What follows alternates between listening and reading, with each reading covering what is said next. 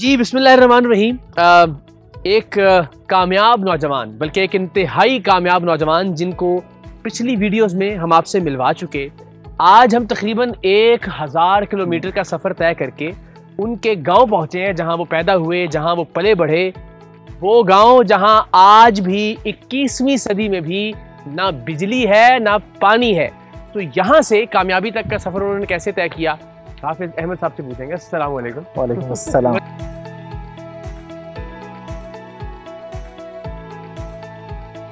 Sir आप यहाँ यहाँ रहते रहे और यहाँ मतलब आज भी बिजली नहीं है।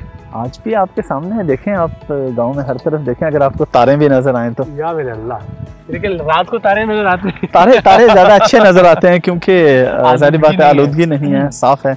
आप सर तो- कैसा आज माशाल्लाह आप अपनी ज़िंदगी में कामयाब हैं और आपकी वजह से लोग लाखों रुपए महाना कमा रहे हैं अमेजोन के ज़रिए ई कॉमर्स के ज़रिए।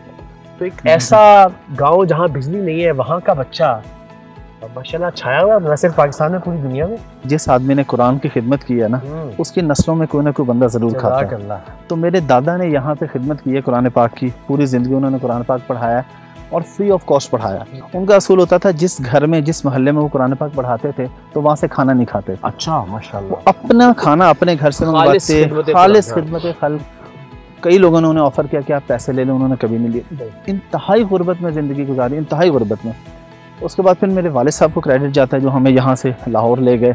मेरे वाले साहब की सबसे बड़ी ख्वाहिश ये थी कि मैं अगर लाइफ में कभी एक घड़ी खरीद लूँ और एक एक साइकिल। प्लेयर और एक साइकिल तो मैं एक कामयाब इंसान हूँ बल्कि ये अभी आपको हाफ़ साहब का घर दिखाते हैं हम तो आपको अंदाज़ा होगा कि इनके वालिद ने अपने घर के और यहाँ के माहौल के हिसाब से बहुत बड़ी ख्वाहिशात थी कि हाँ, साइकिल घर तो भी मेरे ख्याल माशाल्लाह अ, पहले से तो बहुत ही बेहतर हो गया होगा ये। अभी तो बहुत बेहतर है ये तरक्की याफ्ता घर है। तो याफ्ता घर है। इससे पहले उसके बावजूद कच्चा घर है यहाँ पे। और ताहदे निगाह जितनी भी हमारी नज़र जा रही है कोई बिजली की तार बिजली का कोई खंबा कोई रोशनी का कोई यहाँ पे असर नज़र नहीं आ रहा। कुछ लोग ये ना समझे कि अंडरग्राउंड बिजली होगी। अमेरिका या इंग्लैंड की तरह तो ऐसा कुछ नहीं So, है। आपको लगता है एक तो ज़ाहिर है वो कुरान की बरकत माशाल्लाह। और एक बात आप सब आई नो कि मुझे अलाउ नहीं करेंगे लेकिन आई वुड डेफिनेटली वांट कि हर बंदे को पता लगे। यहाँ पे रोशनी तो कहीं नज़र नहीं आ रही लेकिन एक मीनारा नूर नज़र आ रहा है एक छोटी सी प्यारी सी खूबसूरत मस्जिद सामने। वो माशाल्लाह अल्लाह ताला ने हाफिज साहब को तौफीक दी कि वो यहाँ पे। तो खैर है वो एक दीन की खिदमत का नस्ल ब नस्ल सीना ब सीना सिलसिला चलता आया वो एक तो ये चलिए दुनियावी एतबार से क्या स्ट्रगल रही आपकी? और क्या रही दुनियावी एतबार से ज़ाहिर है हमने तो शायद वो स्ट्रगल वो मुश्किल नहीं देखी जो मेरे वालिद साहब ने देखी जो मुश्किल गुजारी। हमें उन्होंने अपनी बिसात के मुताबिक कोशिश की कि हमें यहाँ से उठा के लाहौर ले गए वहाँ पर हमको तालीम दिलवाई। मैंने किसी दोस्त को अपने दोस्त की इतनी शान बढ़ाते हुए नहीं देखा। जितनी कुरान को हाफिज कुरान की शान बढ़ाते हुए देखा। तो मेरे बैग पे जो कुरान है ना अल्हम्दुलिल्लाह मैं बहुत सिक्योर फील करता हूँ। और मुझे किसी किस्म का खतरा नहीं होता है। मुझे पता है कि मेरे साथ कुरान पाक खड़ा हुआ भी माशाल्लाह अल्लाह ने जो आपकी शनाख्त बना दी वो भी हाफिज अहमद। वरना कुछ भी अहमद समथिंग जी बिल्कुल अल्लाह का एहसान माशाल्लाह। हाफिज अहमद साहब जो कि अगेन माशाल्लाह अल्लाह ताला ने अपनी इनकी ज़िंदगी तो तब्दील की इनकी मेहनत की बदौलत और कुरान पाक की खिदमत इनके जो बुज़ुर्गों ने की उसके सदक़े में।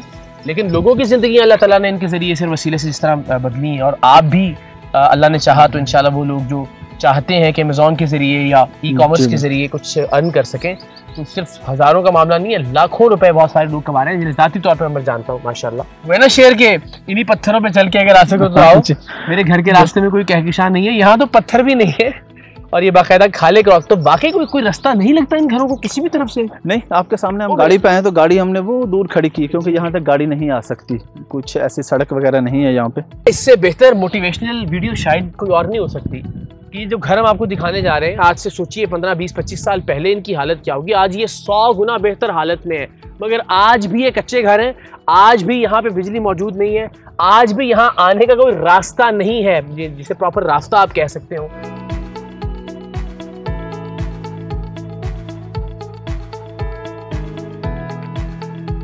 आज एयर कंडीशन गाड़ियाँ भी हैं घरों में एसी भी हैं।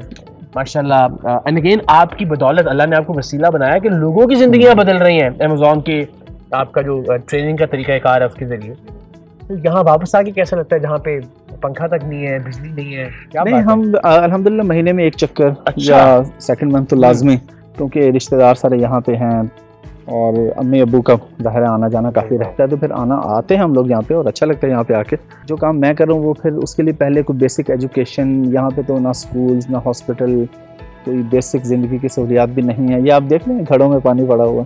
बड़ी यादें भी ताज़ा हो गई बड़ी चीज़ें जो अभी सिर्फ़ फ़िल्मों में ड्रामों में नज़र आती हैं। घड़े चूल्हा खास तौर पे जो ओपन एयर है। बारिश होती है तो क्या करते होंगे वैसे यहाँ पे? बारिश के लिए तो दुआ करते हैं साल में एक दो बारिशें होती है मुश्किल से।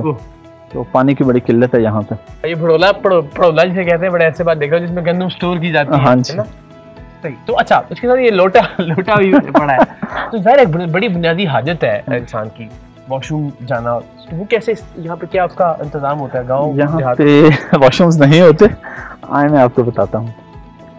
यहाँ पे ये मैदान जो है ना अच्छा इसको ऐसा वॉशरूम यूज़ किया जाता है। क्योंकि रेत के टेले हैं ना हाँ। किसी भी टेले के पीछे बैठ जाते हैं लोटा साथ ले जाते हैं और बस वहाँ से वापस आ जाते हैं। पानी का क्या सिलसिला यहाँ पे? पीने का पानी? पीने का पानी का बहुत मसला है। अभी काफ़ी तरक्की हो गई है। हम्म। तो इस तरक्की के दौर में ये होता है कि घर के लड़के जाते हैं दूर से कहीं भर के ले आते हैं पानी। पहले औरतें खुद भर के लाती थी घरों में। तो क्योंकि जो जो ज़मीन का पानी है वो पीने के काबिल नहीं है तो वो सिर्फ़ नहाने के लिए वो सामने मतलब कैसा लगता है कि आप दुनिया भर में जहाँ जाते हैं माशाल्लाह मिनरल वाटर दस्तियाब होता है बच्चों के लिए वो बड़ा साफ़ सुथरा पानी है? मिनरल वाटर के लिए मैं एक बात कहता हूँ तो जब आपकी जेब में पैसे होते हैं ना और फिर आप नॉर्मल पानी पिए तो आपका पेट खराब होता है। अगर आपके पास पैसे नहीं है ना फिर इस पानी से भी आपका पेट खराब नहीं होता। तो वो तो बस एक बस लाइफ का एक हिस्सा बन गया। है मतलब बस घर एक वहाँ है और जिसमें अपना ये घर है। हाँ जी यहाँ पे घर एक जगह पे नहीं होते। वो दूर देखे वो भेड़ बकरियाँ चल रही हैं वहाँ पे। और बस इसी तरह होता है कि एक का घर इधर है वो देखे वहाँ पे तीन चार घर हैं। फिर ये सड़क के पार कुछ घर होंगे। मैं हैरान ही हूँ मैंने थर में देखा था। और मेरा ख्याल था कि चोलिस्तान चूँकि पंजाब की हुकूमत के जहर इंतज़ाम तो हालात ज़रा कुछ थोड़े बेहतर होंगे। मगर ये जान के हैरत हुई कि यहाँ पे भी ऐसे गाँव मौजूद हैं जहाँ पे बिजली तक नहीं और ये गाँव भी बहुत ज़्यादा दूर तो नहीं है मतलब जी जी बिल्कुल। डिस्ट्रिक्ट भावलपुर लगता है। अब जब आपका बचपन यहाँ गुजरा होगा तब तो यहाँ पे हाँ, बचपन में तो बहुत मुश्किल होगी। ऐसा ही बिल्कुल ऐसा ही था। मैं सिर्फ़ इसलिए कि पाकिस्तान के नौजवान वो जो इसी तरह के गाँव में इसी तरह के गोठों में इसी तरह के देहातों में कुछ चार वहाँ बैठ के गन्ने चूज़ रहे हैं कुछ चार वहाँ बैठ के कनू छील रहे हैं तो नौजवान निकले आपकी तरह और कुछ अचीव करना चाहें ज़िंदगी में और कुछ कुछ उनके कुछ ख्वाब हम पैदा करने की कोशिश करें। तो आपको मैं समझता हूँ कि वो आप एक ख्वाबों का सिंबल बन सकते हैं कि अगर इस घर से वेर ऑब्वियसली अगेन बीस साल पहले वाली इस हालत घर से निकल के एक आदमी हज़ारों लोगों की ट्रेनिंग कर रहा है तो खुद भी माशाल्लाह अच्छा अर्न कर रहा है और लोगों को भी कह रहा है कि वो भी अर्न करें। तो प्लीज़ नौजवानों को चाहिए कि वो सीखें इससे कुछ।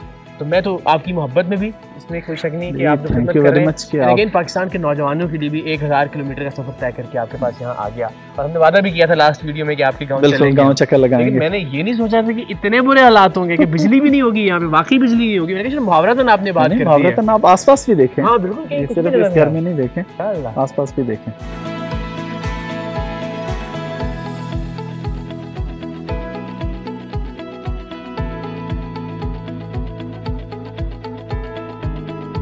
प्लान्स क्या है अभी आपका नया बैच जो आ रहा है उसको किस तरह से कौन लोग हैं जो आ सकते हैं आपके साथ?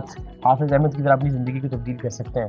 अगर थोड़ी मदद भी हो जाए लोगों हम्म, बिल्कुल हम्म, एक तो उसमें ये है कि हर तरह के लोग आ सकते हैं जो मतलब बेसिक जिनके पास बेसिक इंग्लिश आती हो मैट्रिक किया हो इंटर हम्म। किया हो इतना नॉलेज हो। स्पेशली जो यूनिवर्सिटी स्टूडेंट्स हैं उनको तो उन पे तो फ़र्ज़ है कि उनको आना चाहिए। ओके मैक्सिमम कैपिंग क्या है? बहुत जान मारे कोई अगर नौजवान। तो एक तो आप मिसाल है हमारे सामने। रफली महीने के कितने पैसे अर्न कर सकता है अगर आप उससे ट्रेनिंग लेता है और अच्छा उसको फिर एग्जीक्यूट भी करता है? देखें जो एवरेज स्टूडेंट है ना वो 500 से 1000 डॉलर आराम से कमा सकता है। ये एवरेज की बात ये एवरेज जो दो से तीन महीने की ट्रेनिंग लेगा बस दो से। तीन महीने काम सीखने के बाद जैसे ही वो उसको क्लाइंटेज मिलना शुरू होंगे तो 500 हाँ। से 1000 डॉलर तक एक एवरेज स्टूडेंट कमा सकता है।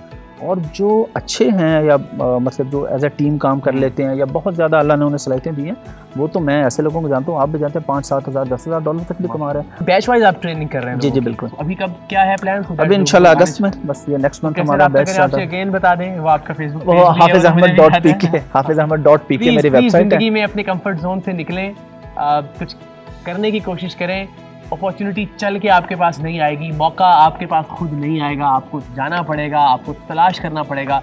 और अगर अल्लाह ताला ने एक ऐसी अपॉर्चुनिटी पूरे मुल्क को दे दी आप देखें ना वज़ीर खजाना ने भी अपनी बजट स्पीच में अमेजोन जी का ज़िक्र बिल्कुल किया। बिल्कुल। उन्होंने कहा कि इसके अलावा और कोई ऑप्शन ही नहीं है हमारे पास। IT IT and IT e commerce e commerce and e commerce इसके अलावा कोई और ऑप्शन नहीं है कि हम तरक्की कर सकते बिल्कुल प्राइम मिनिस्टर साहब ने भी इस पर ट्वीट किया था जब अमेजोन पाकिस्तान में आया। सो बड़ी अपॉर्चुनिटी है अपॉर्चुनिटी के लिए अल्लाह ताला ने एक निमत हमें दी हुई है हमारा प्यारा भाई। कि हम इनसे सीखें और सीख के जो है वो अपनी ज़िंदगी को बेहतर करें इंशाल्लाह अच्छा इसमें डिफरेंट ऑप्शंस है ना। एक तो हम ट्रेनिंग देखते हैं वीए की वर्चुअल असिस्टेंट की। आप वर्चुअली घर बैठ के बगैर इन्वेस्टमेंट के पैसे किस तरह कमा सकते हैं। एक मैं कहूँगा स्पेशली वो पाकिस्तानी जिनकी अपनी मैन्युफैक्चरिंग है हाँ। या कोई प्रोडक्ट है उसे इंटरनेशनल मार्केट में लेके आएँ। सही। अमेजोन पे लेके आए अमेजोन पे बेचें उसको। तो हम हर तरह की ट्रेनिंग्स देते हैं वन टू वन ट्रेनिंग्स भी होती है। हमारा एक बूट कैंप अभी लॉन्च कर रहे हैं हम।